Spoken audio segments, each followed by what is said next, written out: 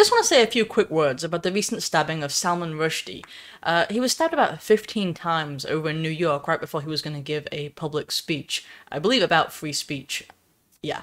In any case, just as a reminder, the country of Iran placed a fatwa on him back in 1989 after declaring that his novel, The Satanic Verses, was blasphemous against Islam. So, I'm not a fan of The Satanic Verses. I've actually, I did read the book, and that's unusual for me. I don't read a lot of novels, especially uh, as an adult. I just don't. I prefer nonfiction.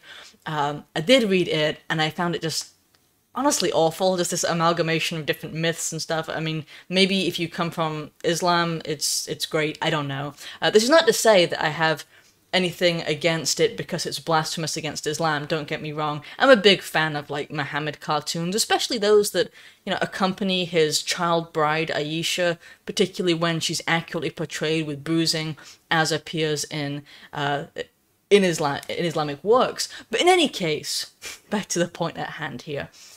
After the stabbing of the author of that book, Salman Rushdie, um, the media reporting of it has been rather terrible. You see, state police actually said that they are unsure of the motive.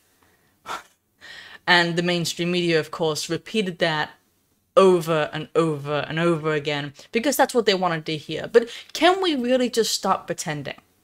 because I don't think any of us are unsure of the motive here.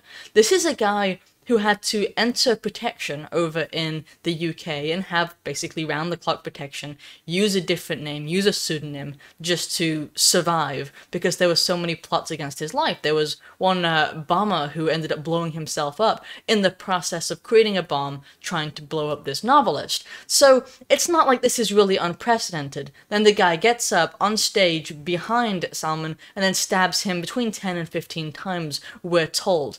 Uh, someone is now in, in, critical condition. There is no question as to what the motive might be. I, I think this is beyond being obtuse. Really, I do. And it's it's offensive. Can we say the truth? Can we just say that this guy was stabbed in an Islamic terrorist attack on US soil by a Muslim in accordance with the decree of Iran, that is, of course, the Islamic Republic of Iran, which is the full and real and official name, which is a country that Biden keeps trying to renegotiate a nuclear deal with.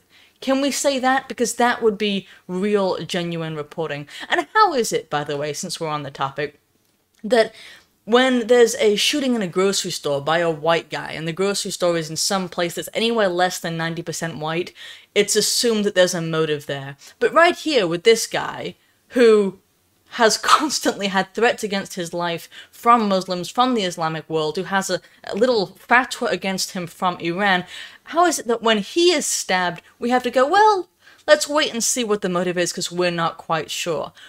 We we are quite sure as to what the motive is. The the mainstream media doesn't want to be sure. There's there's a big distinction here, and really, I think it's it's egregious that these mainstream media sources are so unwilling to simply speak the truth in attacks like this. You made it to the end. You either really liked or really hated that video. Let's assume you liked it. There are lots more that you can choose from, and also you can follow me on Gab and various other social media sites. And if you are able to support the channel, that's an option for you too. There are links in the description below. Thank you so much.